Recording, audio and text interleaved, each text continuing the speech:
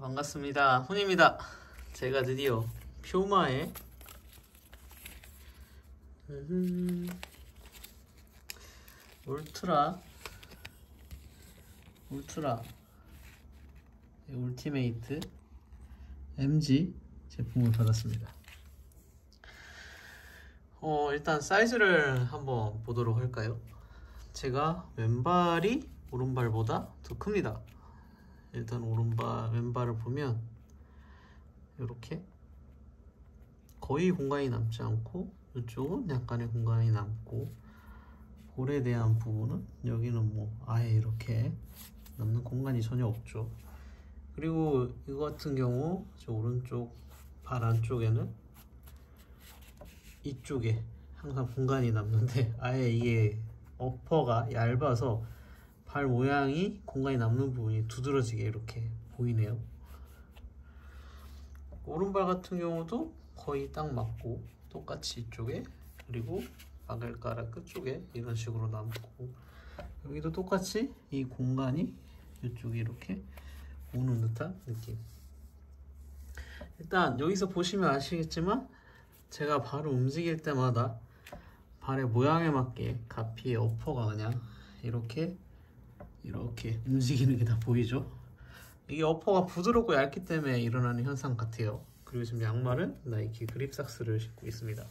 이 양말 같은 그리 두껍지 않은데 그런 편이고 제품 자체에 일단 핏은 이렇다는 거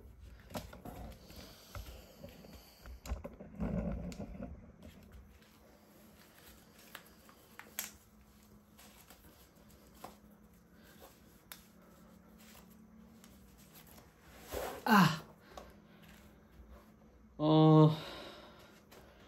제품을 간단하게 보고 신어보면서 느껴지는 것들이 확 있는데요. 글쎄요, 이게 제가 느끼는 부분을 여러분들이 같이 공감을 하실지는 모르겠습니다. 어, 신어보자마자 느꼈던 거는, 그러니까 이 머큐리얼 시리즈, 베이퍼 시리즈의 어, 좀 많이 개선되고 뭔가의 그러니까 이 stud라든지 이런 부분이 확실히 좀더 퓨마 쪽에서 추구하는 쪽에 그런 제품들이 개선된 느낌이 어, 그런 느낌을 받았다고 할까요? 물론 예, 같은 동일한 제품군이 아니고 다른 제품군이라고 볼 수 있겠지만 아무래도 어퍼 자체에 사용한 이 그 뭐지 니트 소재 자체 그 다음에 있는 이제 폴리우레탄 필름을 이렇게 씌워놓은 자체랑 이 어퍼의 갑피가 얇은 거 그리고 여기 보시면 아시겠죠 일체형의 이 발등에 니트 소재가 탄성 있는 이렇게 쓰는 것 자체가 그 머큐리얼 시리즈 나이키의 그거랑 너무 유사해요. 그러니까 이 제 느낌으로는 지금이 에어줌인가요? 에어줌이 14였던 14였던가요? 14였던가요? 그 시리즈를 이제 신고 있는 거랑 많이 유사한 느낌. 그 부분에서 upper의 느낌이 이쪽이 더 부드럽고 그리고 발 볼이라든지 이런 부분의 upper의 last fit 자체가 훨씬 발이 좀 더 편한 느낌을 가지고 있는 것 같아요.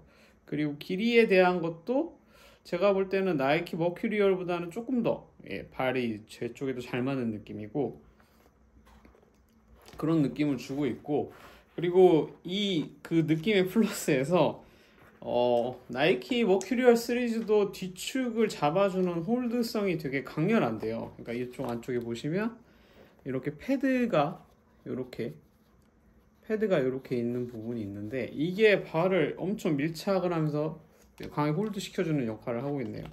그래서 제품 자체의 upper가 주는 디자인 컨셉은 말 그대로 이 소재를 부드럽게 써서 발을 편하게 신을 수 있는 그리고 발이 upper의 갑피가 얇아지면서 사용자가 볼을 터치하는 데 있어서의 그런 감각이나 이런 것들이 좀 더 원초적으로 그리고 좀더 어, 잘 바로 공을 contact할 수 있는 그런 거에 초점이 맞춰져 있고 이렇게 신게 되면 사실 제가 아직 테스트를 못 해봤지만 단점으로 오는 거는 볼 contact이나 이런 것들은 직접적으로 개입을 할 수 있고 그런 거더 빨리 반응할 수 있지만 그 스펀지나 이런 형태의 발을 보호하거나 발을 좀 더 확 밀착감 있게 잡아주는다는 능, 그 느낌 떨어지거든요. 왜냐면 아까도 느꼈던 게 어, 앞에 보셨지만 제 발이 있어서 발이 움직일 때마다 이 어퍼의 모양이 제 발에 움직이는 모양에 따라서 빈 공간이 보이셨을 거예요.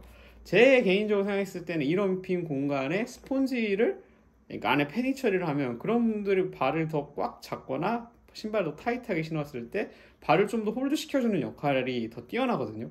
근데 이거 같은 경우는 그런 느낌에서는 발 자체를 전체적으로 완벽하게 감싸준다는 hold성 자체의 느낌에서는 그렇게 높은 것 같지 않아요.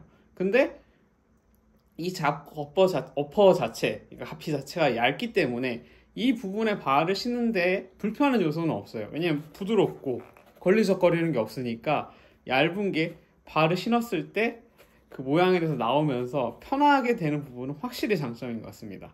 그렇지만 패딩이 기존에 있던 제품들이라든지 그런 제품보다는 어, 발 자체를 완벽하게 밀착시켜준다거나 그런 느낌은 좀 떨어져요. 그리고 이렇게 upper를 얇게 만들면 항상 이제 문제점으로 따라오는 것들이 발 자체 hold성이 떨어진다는 겁니다. 그래서 이런 부분에 대한 거를 보완하기 위해서 제가 나이키 쪽에서 머큐리얼 시리즈에서 느꼈던 건데 뒤쪽에 패딩을 많이 넣어서 최대한 발과 어, 신발 자체가 밀착하게 할 수 있도록 하는 그런 컨셉이라든지 그런 어 뭐랄까 신경을 써준다는 느낌이랄까요? 그런 부분이 좀 있는 것 같아요. 그리고 그 부분에 있어서 이제 개인 사용자가 체, 체크를 해야 될 부분은 어, 저는 개인적으로 이거 처음에 신으면서 약간의 통증이 있긴 했는데 이 통증이 신으면서 나아질 것 같긴 하는데 혹시라도 다른 분들은 지나친 통증으로 인해서 뒤꿈치 쪽이 모양이 다르거나 그러면 그 부분이 안 맞을 수도 있으니까 그 부분에 어, 발의 모양에 맞는 느낌과 플라스틱 이런 부분이 발에 그러니까 본인이 체크하고 신어봤을 때 어떤 느낌을 주는지를 한번 체크해 보시는 게 좋을 것 같고요. 이 앞에가 전부 다 부드럽다면 뒤꿈치 쪽 여기는 이렇게 소리를 들어보시면 아시겠지만 이 힐컵 쪽은 내장 힐컵이 돼 있어서 딱딱한 게 발을 보호해주고 있습니다.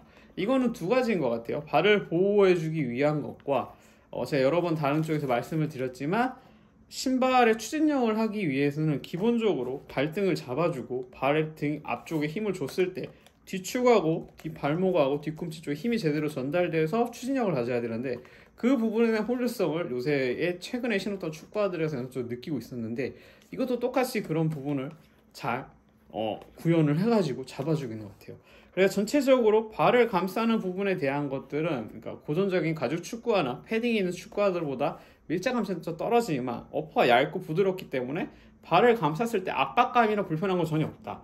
대신에 이 발 전체의 홀드성을 또 잡아주기 위해서 이 발등 부분과 끈이 있는 부분은 그렇죠. 그리고 이 뒤꿈치의 부분의 홀드성은 굉장히 높게 잘 설계가 돼 있다라는 부분이고요. 이게 아웃솔하고 안에 이 플레이트로 느꼈던 게 어, 좀 흥미롭네요.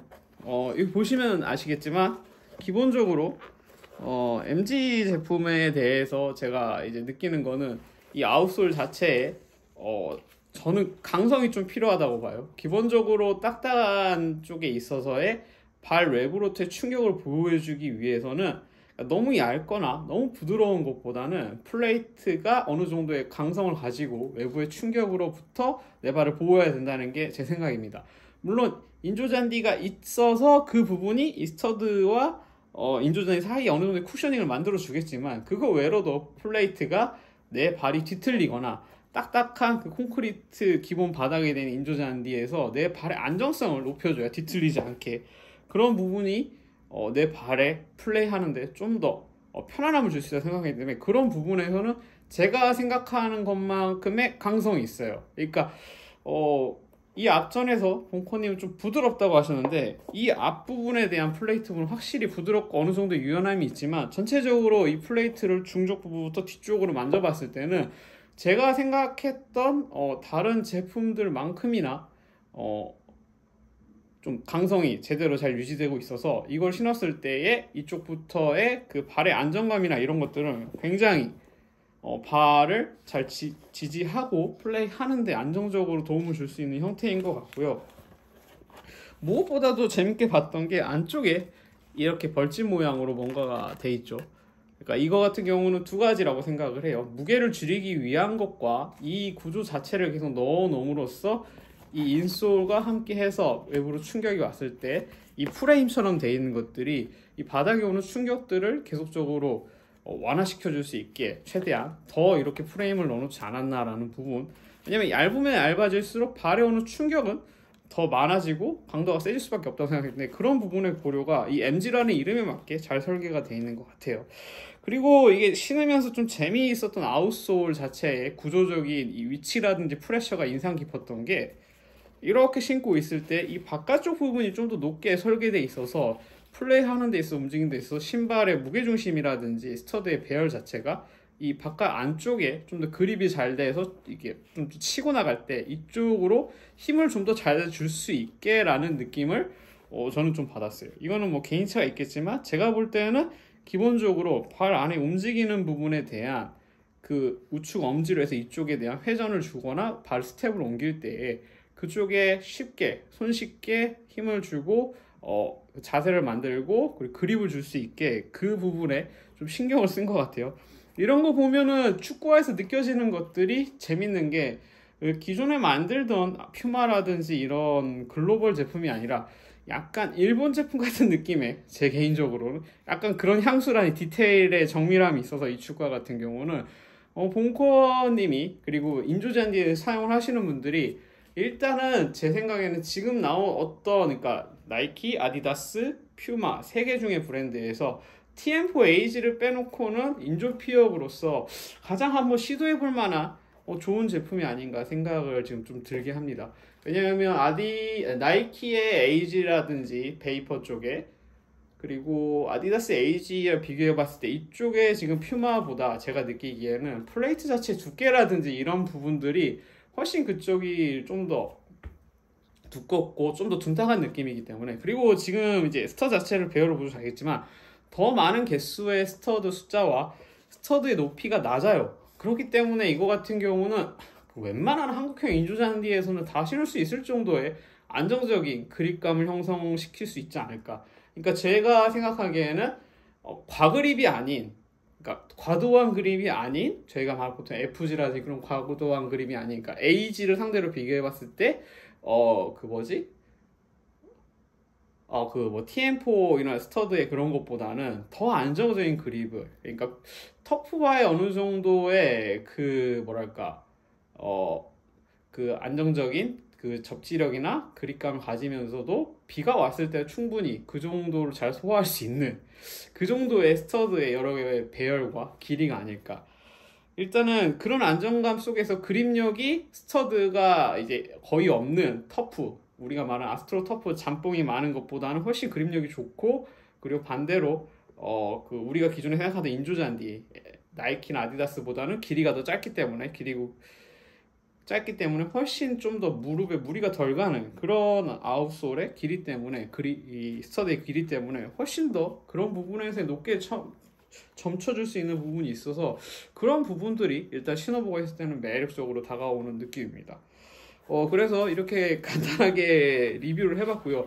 제가 이 느낀 바로는 전체적으로 했던 이 어퍼에 대한 핏 자체는 압박감이나 이런 것들이 전혀 없고요. 단지 어, 신어보거나 보니 테스트해볼 때 이쪽 뒤꿈치의 힐컵하고 이 발목하고 뒤꿈치 부분이 본인한테 스트레스를 심하게 안 주는지는 한번 체크를 해봐야 될 것 같고요. 그리고 스터드 자체의 유연함이나 이런 부드러움은 제가 생각했던 것보다는 딱딱해요. 그러니까 이 완전 유연한 타입의 스터드 아웃은 아닙니다. 근데 저는 이 정도의 hard함이나 안정성이 있어야 인조잔디 쓰기에 좋다고 생각하는 편이라서 이 부분에 스터드의 유연함이나 본인이 느꼈을 때 스터드의 압이 어느 정도인지를 한번 체크해 보시는 정도가 이 축구화를 사실 때 주요 포인트가 아닌 것 같습니다. 어, 주요 포인트인 것 같습니다. 그래서 한번 궁금하신 분들은 이 축구화를 한번 테스트해서 신어보시면 좋을 것 같고요. 일단은 왜 이 제품을 바로 사야 되나? 그 추천은 인조잔디에서 쓰일 수 있는 충분한 스터드의 길이와 개수와 안정감 그리고 플레이트의 제가 볼 때는 안정성 그 부분이랑 upper가 불편한 요소가 하나도 없어요. 그리고 길이에 대한 것도 생각보다 길지도 않은 편이고 부드럽기 때문에 발 자체에 대해서 그 유연하게 발을 감싸는 부분은 있지만 밀착감은 떨어지지만 불편한 게 없다는 게 가장 이제 신을 수 있는 다방면에 대한 호환성이 좋은 그런 부분이겠죠. 그런 부분들이 아마 어, 추천이라는 그런 단어를 바로 꺼내게 하지 않았을까. 그래서 기존에 생각했던 그 퓨마 축구와의 이미지하고는 좀 다르네요.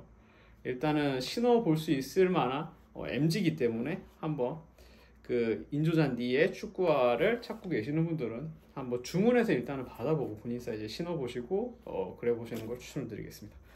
저는 여기서 이만 마치고 어, 실착 실착 리뷰 오늘 나가서 실착 리뷰를 할 거니까 그때 또 영상을 해서 또 뵙겠습니다. 안녕.